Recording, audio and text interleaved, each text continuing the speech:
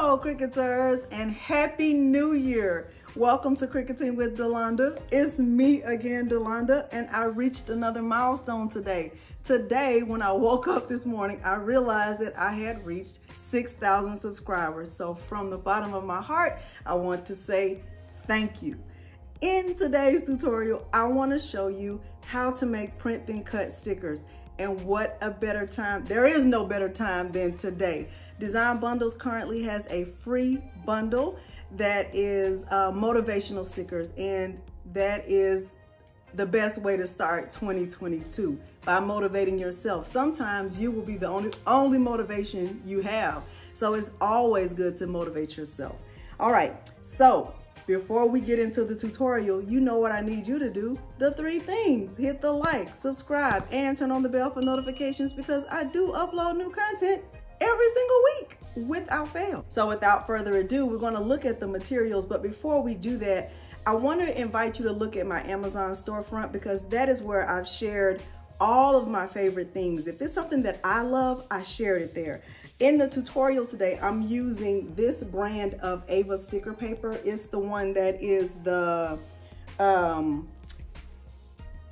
this is the glossy version. There's also a matte version. I like both of them equally, but I'm using this one. So without further ado, let's look at the other materials you will need in order to create beautiful motivational stickers. The materials that I'll be using for this project include my Cricut Maker. I'll use my green standard grip mat. I'll use this AIVA vinyl sticker paper. I'm using the glossy version of it. There is a matte version and glossy. I like them both. And I'm using a free bundle. It's free for five more days according to the, the Design Bundles website. I'm using a free bundle that I downloaded from Design Bundles. I'll show you how to do that. Um, and I'm going to be using them to make these stickers. So this is what my sticker sheet looks like and I will show you the full process. Okay, so without further ado, let's let me show you how to download this bundle from Design Bundles. I am on the Design Bundles website. And if you look at the top, there are a few tabs. There's an affiliate tab that's, of course, for affiliates, free designs, $1 deals, plus membership, and then just multiple sites. I'm going to go to the tab that says free designs. And whether you are a member or not, Design Bundles has free designs weekly, and they also offer a lot of free designs like on a daily basis. So this file right here is a motivational bundle volume one. I'm to click on it and it says that it's free for five days 17 hours 57 minutes okay and so at the time of recording which is january 1st at 3 o'clock p.m i'm in texas this file is free for five more days. I'm going to click download free. And once I download it, it'll come to this folder at the bottom of my screen. So I'm looking at the bottom left. Okay, I'm going to click it. And then I have the option to extract all. I always choose extract all, even though I'm not using a Mac. So when I extract all, it gives me the files for a Mac and for a Windows computer. So I'm going to click extract all. I'm going to click browse. I on my phone on my computer, I have a file just for my design bundles. So I'm going to go to documents. I'm going to go to design bundles files. I'm going to go to select folder. Okay, let me go to browse again because within that design bundles file, I'm going to click new folder and I'm going to actually name it the same name as that file. So that was called Motivational Bundle. Motivational Bundle. Okay. And I'm just going to click it and then click select folder. So when the files are extracted, they will be extracted to the Moto, Motivational Bundle folder. Okay, so 105 items. Okay, so now they are there. I don't have the option to extract it anymore. That means it is available on my computer now. So I can close this out I can close all of this out. I don't need it anymore. I'm also going to close the design bundles tab because I'm finished with it. Now I will head over to Cricut Design Space and show you how to upload that file for use within Cricut Design Space. I am in Cricut Design Space and I am connected to my Cricut Maker. I know that you could also do the same project on a Cricut Explore Air 2 or a Cricut Explore 3. I only have a Cricut Maker and a Cricut Explore Air 2. Okay, so what I'll do first is upload the files that I just downloaded from Design Bundles. So I'll go to Upload Image, I'll click Browse, I'll browse to the place where I have that file saved. So I'm going to go to Design Bundles folder, and then that one was called the Motivational Bundle. So I'm going to double click that, double click Motivational Bundle, and I am going to download the PNGs, okay, because I'm making stickers and um, I want these because they don't have a, a background and I'll just put a background. I'll show you the full process. Okay, as far as I know, you have to upload or um, upload files one at a time. So this first one says, actually I can. I'll click open. I'm just going to click complex and continue. I'm not going to do anything to it. I'm going to click apply and continue. And I want this print then cut image. Okay, I'm going to click upload. And then I'm going to go back and just upload each of the other files yeah, it's only one at a time. So I'm gonna click this one, go to go the extra mile. It's never crowded. I love that. Okay, and I'm not, you know, editing these files in any way. I'm all I'm uploading all of them as print then cut images. I'm gonna go back and I'll speed this part up.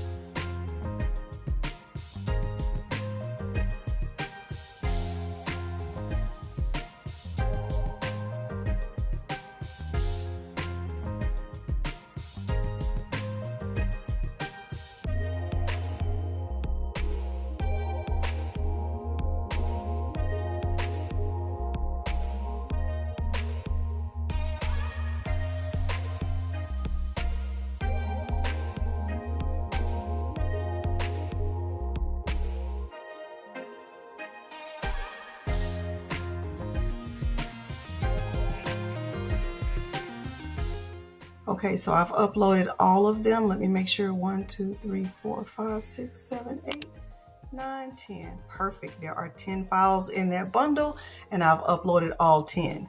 Now, what I'll do is hold the Shift key and bring all of them into Cricut Design Space at the same time. So I'll hold the Shift key on my keyboard and I'll click each file individually. So one, two, three, four, five, six, seven, eight, nine, ten, and I'll click add to canvas. They are going to come in big, I'm sure. 10 files at one time, so it's taking a minute. Ooh, that is big, it's huge. Okay, so what I am going to do now, the view on my screen is at 100%. I'm gonna bring it down to 50%, okay? And I suggest you start getting into the habit of doing that too, because it's better when you can see everything on your screen. I love to see every single thing on my screen at the same time. Okay, the next thing I'm going to do is just kind of scroll down a little bit and, you know, make this smaller because it's just a lot going on at one time. Okay, and I'm not going to move these. I'm not going to separate these just yet. The next thing I'm going to do is grab a shapes from the shapes tool, I'm going to just grab this rectangle right here. And I'm going to move it over here to the side and I'm going to unlock it. What I'm doing is making a template that will be acceptable to Cricut Design Space because as you may or may not know, the biggest size you can do print then cut in Cricut Design Space is 9.25 so that's going to be my width. And the height will be 6.75. Okay. So I can't, I know that I can't go any bigger than that. Now I know that there are some crafters or some content creators who have found hacks to, you know, kind of trick the system. I have not tried that. I just kind of stick to the rules for the most part.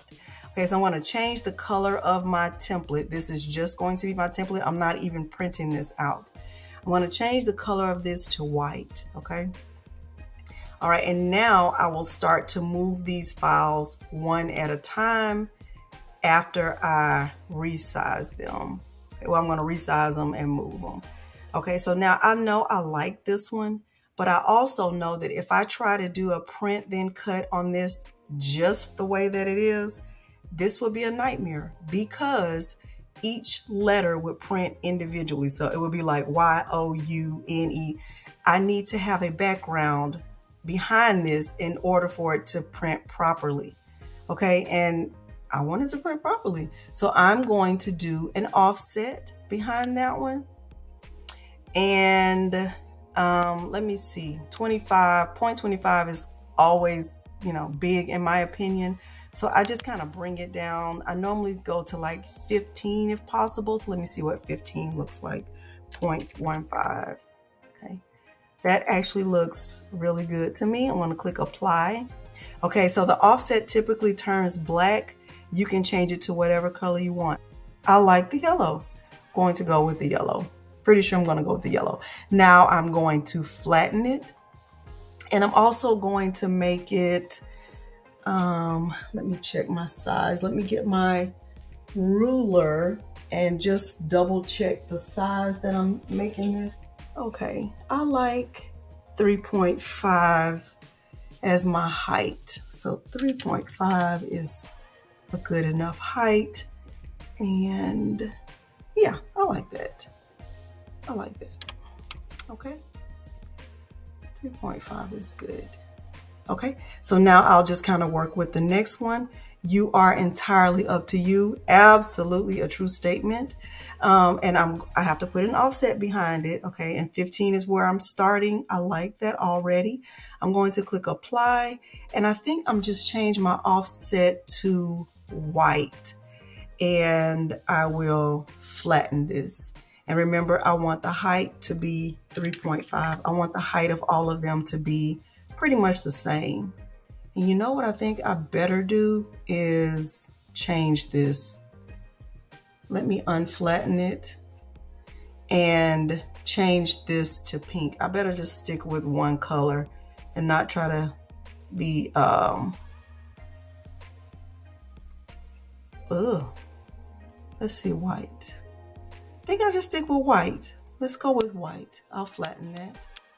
Okay, I don't want my colors to be all over the place. And since all of these seem to be in one color scheme, I don't want to mess it up. All right, prove them wrong. Um, I'm going to add the offset, keep it on 15, click apply. I'm going to make this offset a little bit bigger and let me tell you why.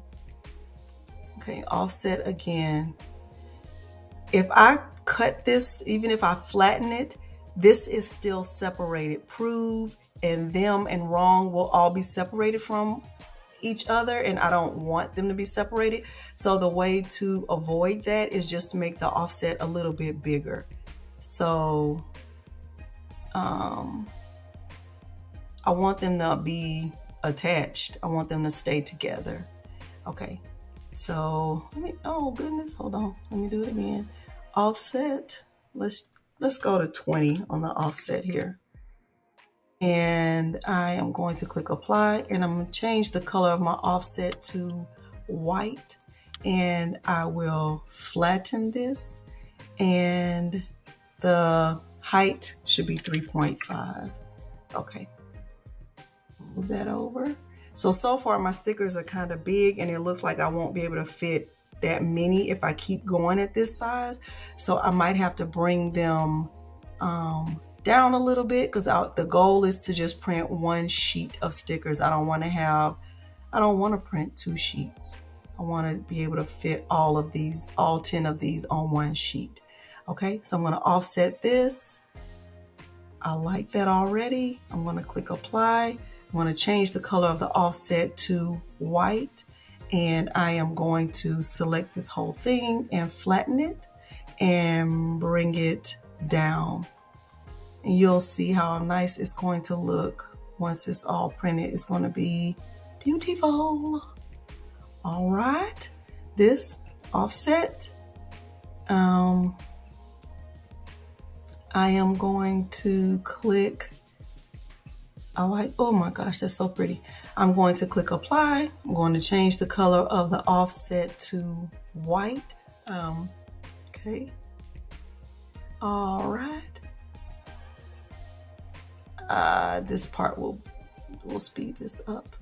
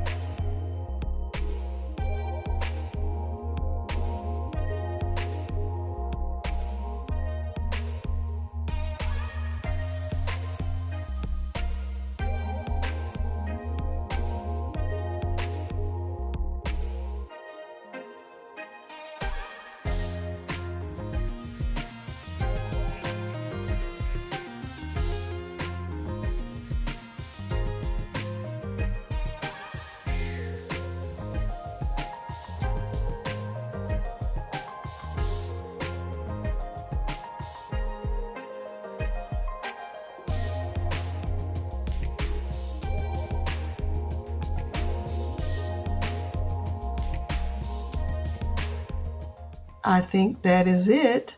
Let me bring my view up so we can get a good look at it. Okay, that is beautiful. Now I will turn this, remember this was just my template. I'm gonna turn that template off. I'm gonna select over all of these and I am going to attach them and you see I don't have any errors on my screen. I don't have a little triangle that says no, no, no. Now I will click make it. And this should give me the option to have everything on one sheet of paper. Look at how beautiful that is. Okay, now I will click continue. Okay, and it's going to ask me to send this to a printer. I am sending this to my Canon MX470 printer. Um, this is not sublimation. This is just plain um, printing from my desk jet printer. Okay, I am going to use System Dialog. You can keep the add bleed on if you choose. Um, I'm going to use System Dialog, which will give me my printer options and my so I can, you know, make sure I have the right settings. Okay. Just gonna think about it. Okay, Canon MX470. I'm gonna click Preferences. I'm gonna keep it on standard right here. Media type.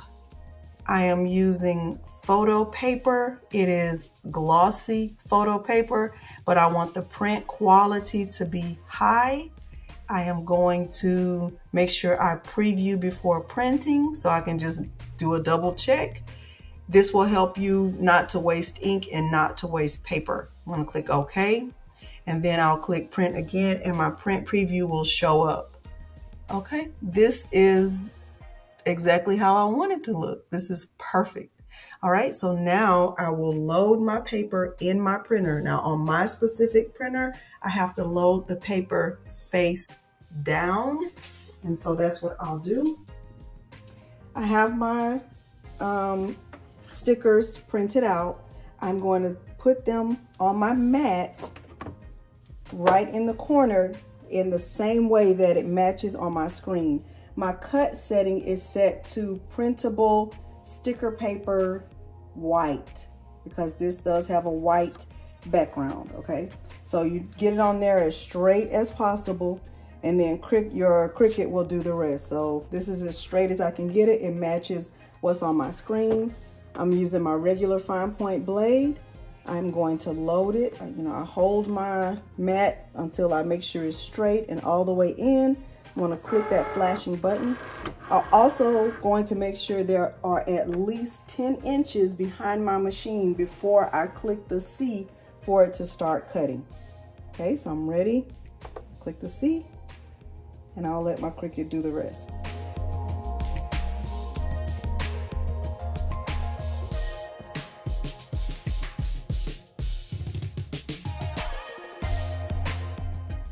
Okay, I have them cut and it looks like I need to do a calibration on my maker because it is not cut perfectly, but I will see if I'm still able to use most of them. I'm not gonna take this out of the video because you need to know what to do if you experience this. So I am peeling the excess away from my mat. And I've decided that I'm going to put the stickers here on my Cricut Explore Air 2. I don't know who put that star there. I'm assuming one of my daughters did it, but I'm not going to take it away because I like it. I know I did not do it. I don't know, but I like it there. It doesn't bother me. Ooh, I need to calibrate calibrate. This machine has calibration in its future. All right, so I am going to peel them up one, probably one at a time. Oh, look, see, that's not attached.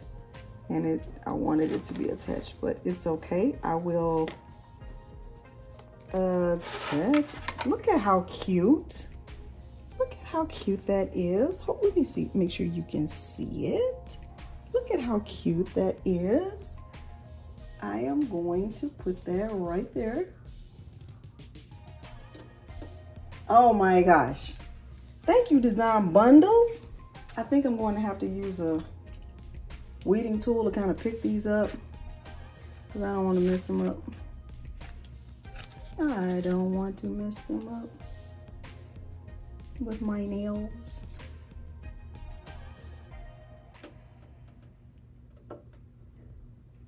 Oh my gosh. Look at, look at how cute that is. I love it. So what I'm doing is pulling it from the, the backing. And because this paper is like really thin, I'm having to use a weeding tool to get get the sticky, get the sticker from the backing. So, and if you follow me for any length of time, you know that I'm not really, not really good at that, but look at how cute that is. Look at, I love it. It's so pretty. Oh my goodness. Okay, I'll speed this part up.